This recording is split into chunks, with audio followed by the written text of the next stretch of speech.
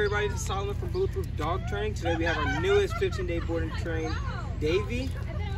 She is a six-month-old Labradoodle. Uh, Mom and Dad brought her here because she she gets distracted a lot, likes jumping up on people. It says she loves people. Uh, also, she loves counter surfing. But before we do, but before we get into her training, let's see what she knows. Davey, come, come. Good, good girl. Oh, oh. Uh, up, up. Sit. Up. No, jump. Down. Hey, down. Down. No, it's gonna walk. As you can see, she likes to do her own little thing. But check back in 15 days for her amazing transformation. And thanks for choosing Bulletproof.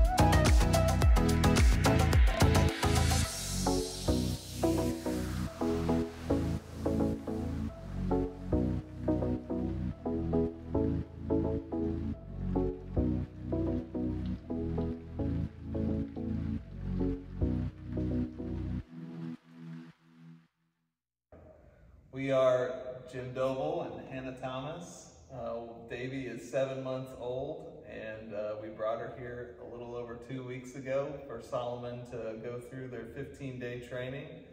She's a very excited dog, loves people, loves other dogs, can barely control herself. So we had high hopes, but we also wanted to, to you know, keep our expectations reasonable, and she has exceeded our expectations, as has Solomon, and she's done a lot of things that we thought she'd never be able to do. It's very exciting for us. Now we feel safe to take her to dog parks and all over the place. We want to go on hikes on trails and um, go camping and do all kinds of fun stuff like that where now we know she'll be safe.